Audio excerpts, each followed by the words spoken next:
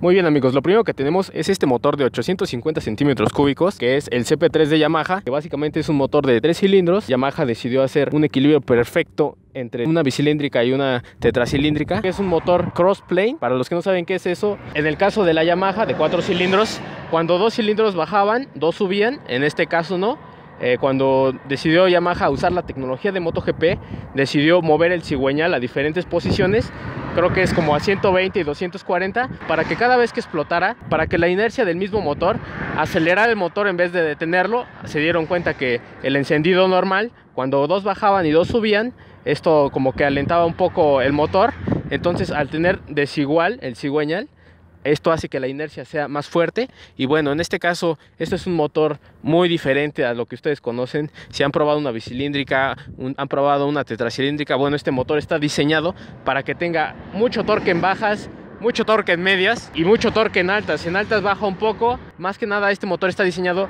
para que sea más lineal. Normalmente las curvas de potencia son así y bueno, esta sería un poquito más así. Este motor, a diferencia de un R6, este tiene 115 caballos. Dirán, no, rayos, tiene menos caballos. Ok, pero lo importante o lo que realmente importa es el torque que tiene porque tiene 87.5 newtons metro a 8500 revoluciones. Eso significa que tiene eh, más o menos 20 tantos newtons metro más que un R6, pero la entrega de potencia no se compara en nada. Un R6 no te entrega la potencia hasta que la llevas alta, esta desde abajo te entrega mucha potencia. Es un DOHC o doble árbol de levas, tiene cuatro válvulas por cilindro, tiene la tecnología del YSST, que es básicamente un sistema que cambia electrónicamente la válvula de admisión de aire para variar el aire que le va entrando al motor y esto dependiendo de las revoluciones para que siempre tenga el óptimo rendimiento de aire que necesita cada rango de revoluciones. Tenemos una suspensión invertida de 43 milímetros. Algunos me han preguntado que a qué me refiero con 43 milímetros. Bueno, en los 43 milímetros es qué tan ancha es la barra. También me han preguntado qué es el recorrido. Bueno, el recorrido es qué tanto se hunde la barra. En este caso tenemos 137 milímetros de recorrido.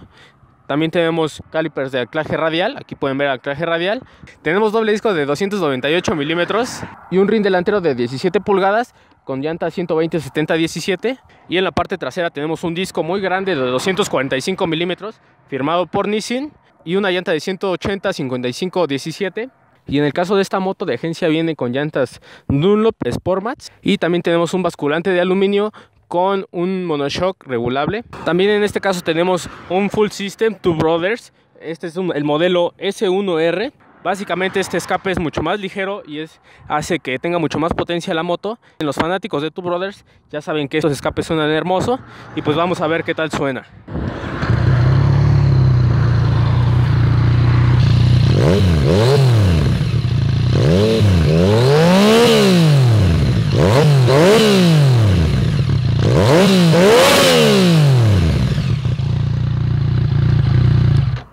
Muy muy bien. En el tablero tenemos la marcha en granada, la velocidad en kilómetros por hora, todo aquí tenemos el rango de revoluciones, la gasolina, aquí un mod porque esta moto tiene para tres modos de manejo, tenemos el estándar de default, podríamos activar el A y el B, el A es toda la potencia, el estándar es normal, casi toda la potencia y el B ya te reduce la potencia en caso de que sea lluvia o algo así, igual que como estábamos viendo en la GCXR el otro día.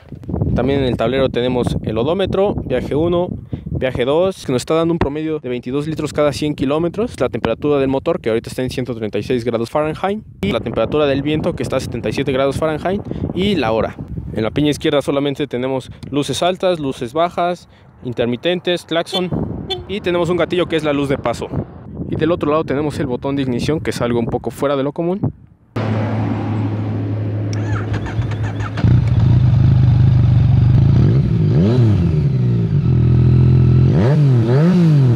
También amigos el asiento tiene una altura de 815 milímetros. Si no tienen la referencia de más o menos de cuánto es, una R6 tiene 830 y una Duke 200 tiene alrededor de 800 milímetros. Entonces esta está en un término medio, realmente no es, no es tan alta. Llego un poco con las puntas, un poquito más. Entonces la puedo mover muy fácil, pesa alrededor de 188 kilos, lo cual es muy muy ligera. Como les digo, esta moto está diseñada para ser ligera y muy potente.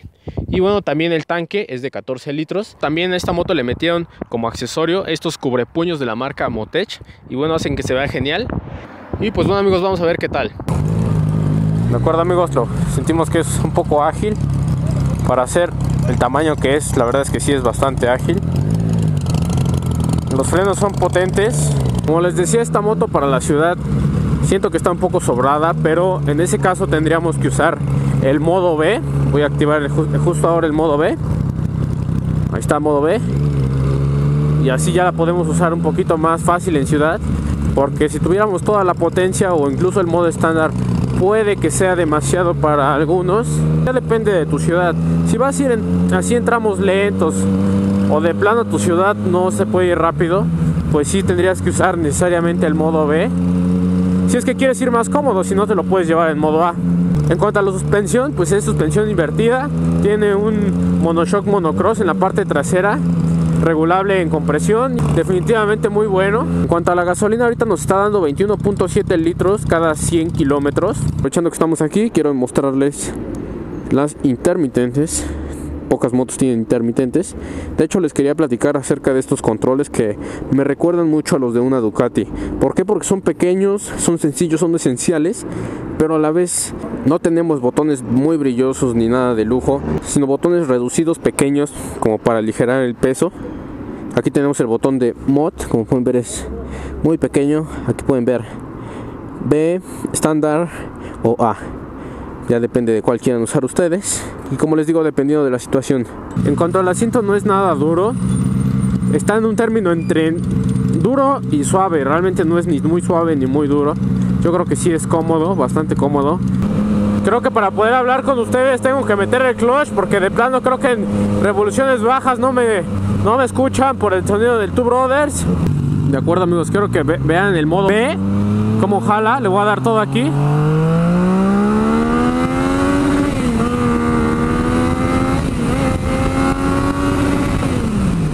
Vieron cómo se escucha muy limitado el motor. Ahora vamos a poner el modo estándar.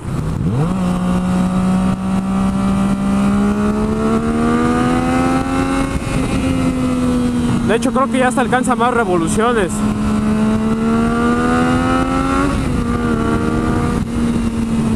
Y tiene una aceleración mucho más rápida.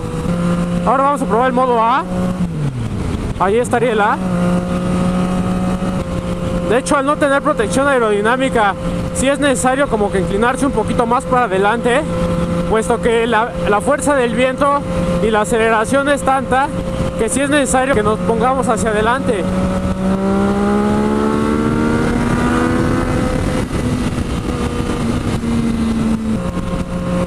Ahorita vamos en tercera.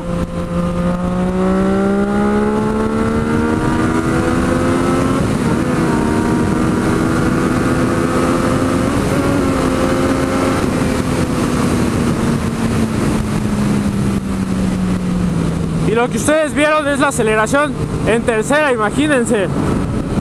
Ahorita voy aproximadamente 100 kilómetros por hora y el viento ya se siente un poco fuerte. Entonces, para, que, para contrarrestar ese viento, me tengo que inclinar un poco porque la protección aerodinámica es prácticamente nula. Los de Yamaha aseguran que esta moto no es para ningún inexperto y ya veo por qué. Definitivamente tiene mucha potencia. Ahora vamos a intentar que llegue un poquito más de revoluciones. Vamos a ver a cuánto llega en segunda. Llega aproximadamente 135 en segunda. Las demás velocidades ya se imaginarán a cuánto llega. Definitivamente es una moto que me compraría. Vamos a probar el modo estándar. Ahí está el modo estándar y vamos a ver qué tal.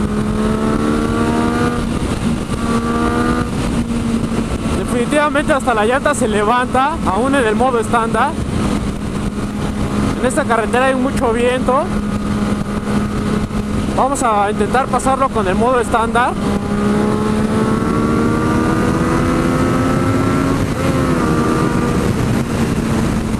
Definitivamente lo pasamos muy fácil. ¿Por qué? Porque esta moto, aunque vaya en modo estándar, ya viene muy potente. Definitivamente me enamoré de esta moto. La recomiendo. Sí, sí la recomiendo. Pero solamente para personas experimentadas.